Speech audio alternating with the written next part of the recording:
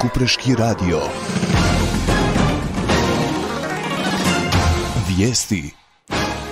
Poštovanje cijenjeni slušatelji u vijestima Kupreškog radija danas poslušajte. Grlić Radman, nećemo dopustiti da Hrvati u Crnoj Gori ponovno budu meta progona.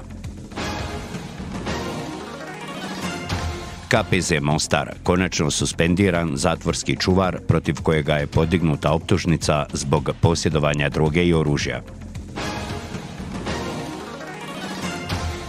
Sve više radnika želi van, a radnike iz BiH traže Hrvatska, Njemačka i Emirati. BiH u lipnju ostvarila rekordne turističke brojke. Poslušajte iz kojih zemalja je stigao najveći broj turista. Poginuo mladi navijač nakon tragičnih incidenata odgođena utakmica AEK Dinamo.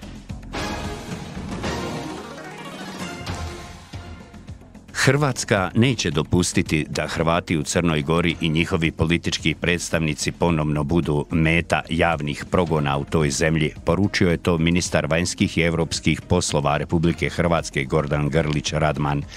Nakon što su prosrpske političke i medijske strukture ošto kritizirale čelnika Hrvatske građanske inicijative Adriana Vuksanovića zbog čestitke za dan pobjede i domovinske zahvalnosti i dan hrvatskih branitelja.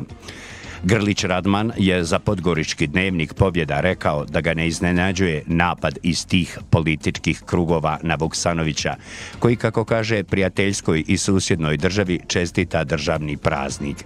Tim se praznikom obilježava međunarodno legitimna i legalna hrvatska vojno-redarstvena akcija Oluja. Zatvorski čuvar kod kojega je prošle godine u pretresu kuće u Biogradcima pronađena marihovana i oružje, nalazi se pod suspenzijom, doznaje Hercegovina Info. Ilija Miličević, 1990. godište, zatvorski čuvar u kaznano popravnom domu u zatvoru u Mostaru, sumnjiči se da je počinio kaznena djela neovlašteno proizvodnja i stavljanje u promet opojnih droga i nedopušteno držanje oružja ili eksplozivnih tvari. Najprije prilikom podizanja optužnice otišao na bolovanje, zbog čega vodstvo u KPZ-u Mostar nije moglo iskoristiti mehanizam suspenzije spomenutog čuvara. Rezultati analize tržišta rada koju je proveo portal Moj posao.ba pokazuju da je u prvoj polovini 2023. godine objavljeno ukupno 6649 oglasa za posao putem stranica e, kojim je oglašeno 14992 radna mjesta.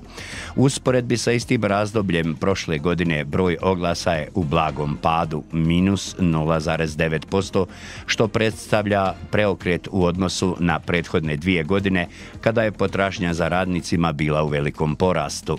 Tako je, na primjer, u 2022. godini potražnja za radnicima rasla preko 30% u odnosu na 2021. godinu. Prvi put nakon više od 10 godina pada potražnje za radnicima u IT sektoru, a raste i interes poslotražitelja tih poslova. S druge strane, najveći porast potražnje radnika odnosi se u kategoriji transporta, skladištenja, logistike i drugih takvih poslova. U Bosni i Hercegovini tijekom lipnja ostvaren je rekordan broj dolazaka turista i noćenja, a među tri prve nacije po broju dolazaka u tom razdoblju bili su turisti iz Hrvatske, izvijestila je Agencija za statistiku Bosne i Hercegovine. U lipnju su turisti ostvarili 166.182 posjeta, što je za 17,3% više u odnosu na isti mjesec prošle godine. Istodobno zabilježeno je i 333 409 noćenja, što je za 8,5% više u odnosu na lipanj prošle godine. Najviše stranih turista je iz Turske, Hrvatske, Njemačke.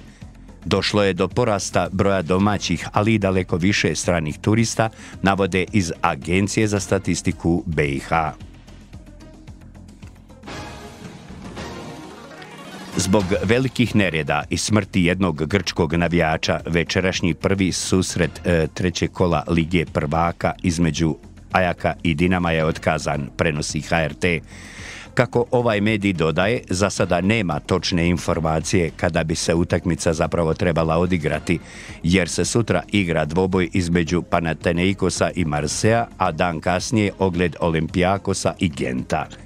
Podsjetimo, preko 90 osoba je uhićeno nakon sinoćnih nereda u Ateni, a koje su izazvali navijači Dinama, koji su unatoč zabrani gostovanja doputovali u Grčku prijestolnicu. Slušali ste vijesti Kupreškog radija.